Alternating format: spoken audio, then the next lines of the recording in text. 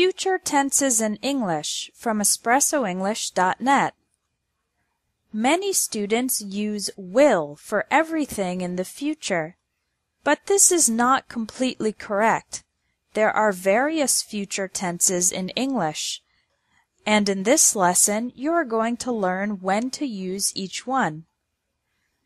For predictions, use will, won't, or going to. For example, the economy will improve this year is the same as the economy's going to improve this year. In general, with first conditional sentences, using the word if, we use will and won't. For example, if you practice every day, your English will improve. If you don't study, you won't pass the test. For intentions, use going to. Intention is when you want to do something but you haven't yet taken action. For example, this year I'm going to lose weight. I'm going to quit smoking. I'm going to get out of debt. I'm going to join a gym. Going to is commonly used for New Year's resolutions. Now let's talk about plans and arrangements. Plans and arrangements are when you have already taken some action to make the plan a reality in the future. There are three possible tenses to use with plans and arrangements going to, present continuous, or future continuous. For example, you can say, We're going to visit him next week. Using the present continuous, you can say, We're visiting him next week. Or, using the future continuous, We'll be visiting him next week. These three structures, we're going to visit, we're visiting, and We'll be visiting, in this context, these are essentially the same.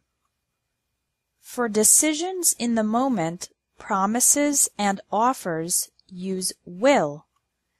An example of a decision in the moment is ordering in a restaurant. I'll have the chicken salad. Use will for promising. I'll call you at five o'clock. Use will for offering. I'll help you with the homework. For scheduled events in the future, use the present simple.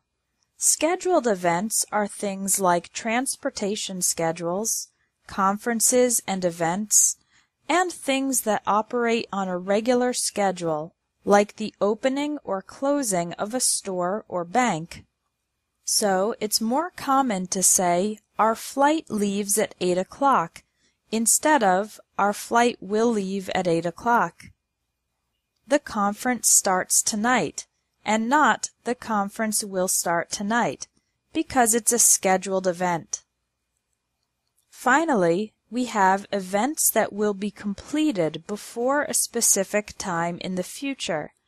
In this case, use the future perfect. Imagine that right now it's 12 o'clock p.m.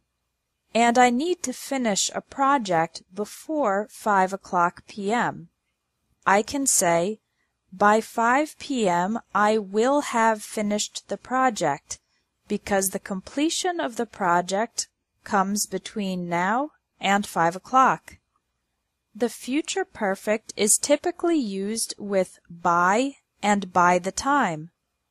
Some people call the future perfect the past in the future because I am imagining being at a future point in time, 5 o'clock, and looking back on an action that has been completed in the past.